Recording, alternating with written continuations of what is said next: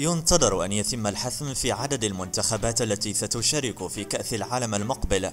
في مارس المقبل بحسب ما كشف رئيس الاتحاد الدولي لكرة القدم فيفا السويسري جياني إنفانتينو وينص المقترح بأن يرتفع عدد المنتخبات من 32 منتخبا إلى 48 منتخبا.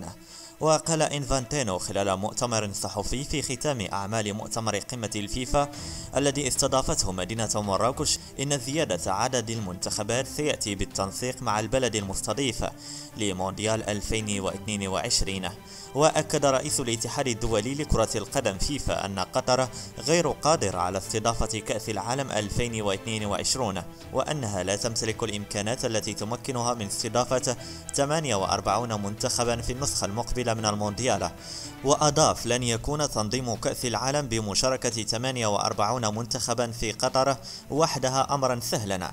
والفكرة تحول حول احتمال تنظيم مباريات خارج قطر لكنها تصطدم بالواقع السياسي في الخليج. وتابع قائلا لدينا الآن فرصة لنكون في كرة القدم وليس في السياسة يمكننا أن نحلم وأن نفكر وأن نقترح.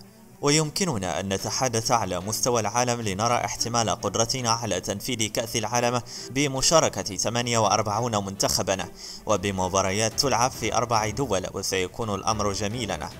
وكان رئيس الاتحاد الدولي لكرة القدم جياني إنفانتينو قال الشهر الماضي في الإمارات إن الفيفا يدرس مدى إمكانية توسيع كأس العالم 2022 في قطر لتشمل 48 منتخبا.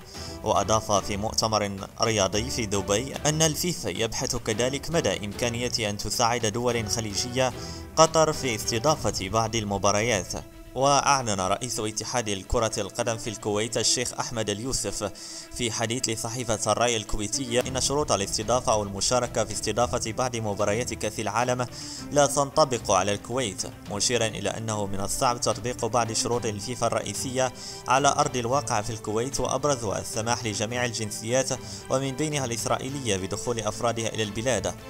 وإصدار تأشيرات فورية لها لحظة وصولهم خصوصا أن الشرط المذكور يحظر منع دخول أي جنسية سواء كانت تتبع المنتخبات والمشجعين.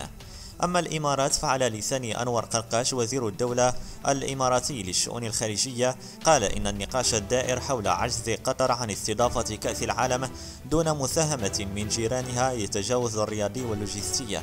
وتابع إن هذا النقاش يؤكد الاحتياج الطبيعي للدول إلى محيطها مراجعة. سياسة الأمير السابق تتجاوز الأبعاد السياسية كما نرى. ويذكر أن دول الخليج تشهد أزمة غير مسبوقة منذ الخامس يونيو 2017 حيث قطعت كل من السعودية والإمارات والبحرين ومصر علاقاتها مع قطر ثم فرضت عليها إجراءات عقابية بدعوى دعمها للإرهاب وهو أمر تنفيه الدوحة.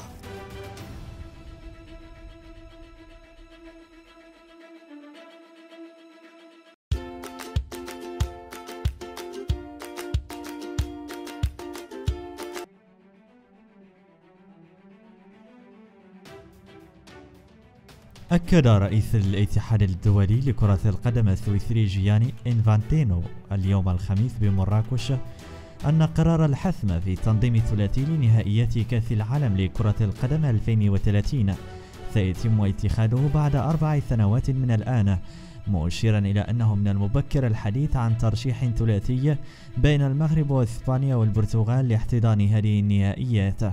وأضاف في تصريح خلال لقاء إعلامي على هامش مؤتمر الاتحاد الدولي حول تطوير كرة القدم العالمية أن قرار الحسم في التنظيم الثلاثي لدورة 2030 سيتم اتخاذه بعد أربع سنوات من الآن مؤشرا إلى أن اهتمام الاتحاد الدولي منصب حاليا حول الاستعداد لتنظيم مونديال 2022 وقال إنفانتينو أكيد أن الاتحاد الدولي قرر فتح الترشيحات التي تجمع أكثر من بلدين باعتبار أن تنظيم نهائيات المونديال في بلد واحد شيء صعب. نافيا أن يكون قد تناهى إلى علمه النية في ترشح الثلاثية للبلدان الثلاثة المغرب إسبانيا والبرتغال.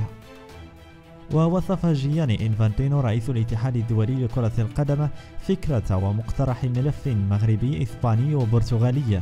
من أجل استضافة نهائيات كأس العالم لكرة القدم 2030 بالممتاز مشددا على أن الفيفا منفتحة على هذا المقترح. وبخصوص هذا الملف قال المتحدث نفسه إنه من الرائع أن يتقدم لنا بملف ثلاثي يجمع بين قارتين وثلاث حضارات مختلفة. هو ملف متميز كما هو حال الملفات الأخرى التي سمعنا بها على غرار ملف أمريكا الجنوبية بريطانيا وأوقيانوسيا التي سمعنا بها. وأضاف ليس هناك في القوانين الداخلية للفيفا ما يعارض ملف من هذا القبيل فهي مسألة لن تثير أي جدل ولا تتعارض مع القوانين الداخلية. الآن يتعين علينا النظر في الملفات وأن نأخذ بعين الاعتبار العديد من القواعد والأولويات. وفي نفس الوقت هذا ليس بالمحظور وما ليس محظور فهو مقبول. الآن تبقى أن تتدارس الأطراف المعنية هذا الملف. وخلص رئيس الاتحاد الدولي إلى أن كل ما يمكن فعله تجاه هذا الترشيح وبصفتي الشخصية تشجيع الجامعة الملكية المغربية على ذلك. وتعد أشغال هذه الجولة الثانية من ثلاث جولات لقمة الفيفا بعد الجولة الأولى التي احتضنتها الدوحة بقطر شهر دجنبر الماضي.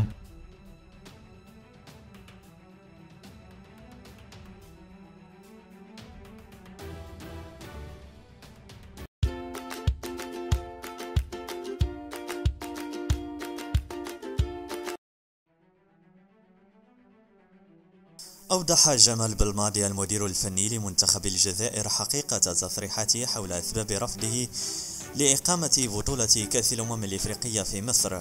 وقال جمال بالماضي في تصريحات لصحيفة النهار الجزائرية هناك دائما من يحاول تأويل تصريحاتي ويسيء فهمي. قلت إنني أفضل إقامة كأس أمم إفريقيا في جنوب إفريقيا نظرا للمناخ وليس لأي شيء آخر ولا أدري إن كان هذا غير واضح. لا أعرف أي مدرب أو أي لاعب لا يريد لعب المباريات في مناخ معتدل وهذا ما يسمح لك بتقديم كرة قدم جميلة.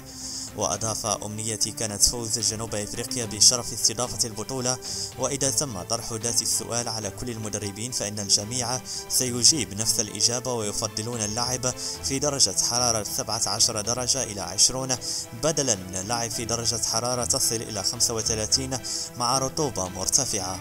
وواصل المدرب الفني لمنتخب الجزائر تصريحاته قائلا جميع المنتخبات المشاركة في بطولة كأس الأمم الإفريقية ستكون تحت نفس الظروف وعلينا أن نعمل جاهدين من أجل المنافسة بقوة.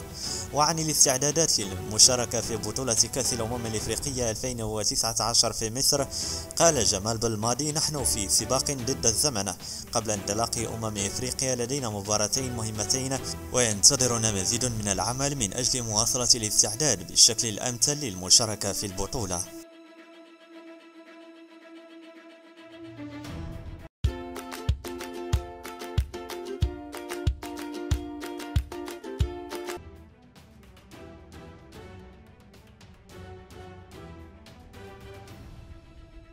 قال ياسين معراج مراسل قنوات بين سبورة القطرية إنه عندما فازت قطر بشرف تنظيم كأس العالم 2022 كان مقررا بمشاركة 32 منتخبا.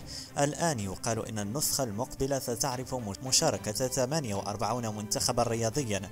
من الصعب تنظيمها وذلك على هامش الندوة الصحفية التي عقد جيان إنفانتينو رئيس الاتحاد الدولي للعبة بعد نهاية مؤتمر الاتحاد الدولي لكرة القدم فيفا يوم الخميس.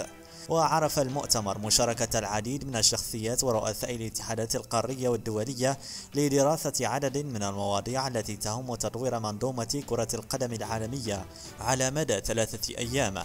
وبخصوص كأس العالم للأندية قال ياسين معراج أن النسخة المقبلة ستكون بشكل مختلف عن بعض النسخ السابقة. وأكد الصحفي الرياضي مراد المتوكل أن رئيس الفيفا لا يمكنه الإفصاح عن دعمه للمغرب في تنظيم مونديال 2030 رفقة إسبانيا والبرتغال كما تكلم عن تقنية الفار التي تم إحداثها خلال مونديال 2018 بروسيا. وأضاف الصحفي السابق بالقناة الثانية قائلا ما عمرنا من سمعوا إنفانتينو يقول لنا أنتم كتستاهلوا تنظموا كأس العالم وذلك بحكم منصبه على رأس الهرم الكروي في العالم. يذكر أن مدينة مراكش قد احتضنت ما بين الخامس عشر والسابع عشر يناير الجارية مؤتمر الفيفا لتطوير منظومة كرة القدم. عرف دراسة العديد من القرارات التي تهم تطوير كرة القدم عموما وكرة القدم النسوية على الخصوص. مشيرا إلى أن الفيفا ستستمع خلال المؤتمر إلى مقترحات الاتحادات الكروية للرفع من عدد المنتخبات التي ستشارك في نهائيات كأس العالم 2022 التي ستجرى بقطر.